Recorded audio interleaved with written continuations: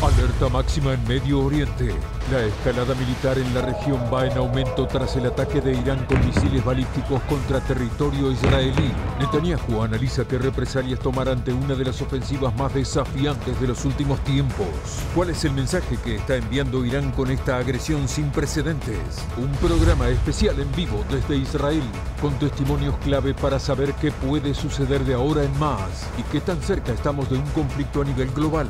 TN Internacional con Carolina Amoroso. Sábado 14 horas por TN.